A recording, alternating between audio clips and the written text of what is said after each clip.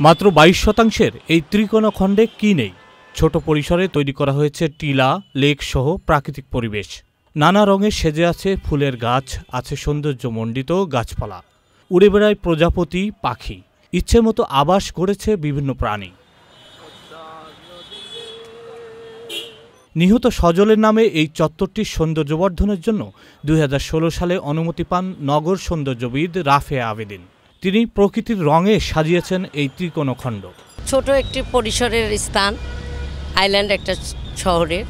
এখানে আমি water body রেখেছি, কারণ জলজ প্রাণী রাখার জন্য। জলজ প্রা- প্রাণী রয়েছে, ওই যে আপনারা দেখতে পাচ্ছেন মাছ, শামুক, ঝিনুক, এমনি অনেক প্রকার জলজ প্রাণী এখানে আছে।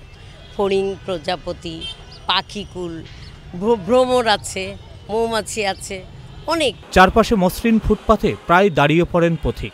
যানজটের বিরক্তিও দূর হয়ে যায় যাত্রীদের।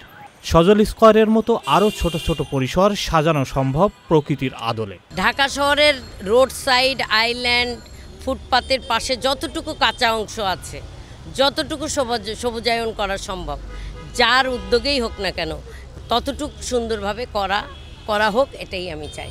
শুধু সৌন্দর্যবর্ধনই নয় এ ধরনের উদ্যোগ পরিবেশের ভারসাম্য রক্ষায়ও গুরুত্বপূর্ণ ভূমিকা রাখবে বলে মনে করেন প্রকৃতিপ্রেমীরা। Zahiduzzaman Channel i Dhaka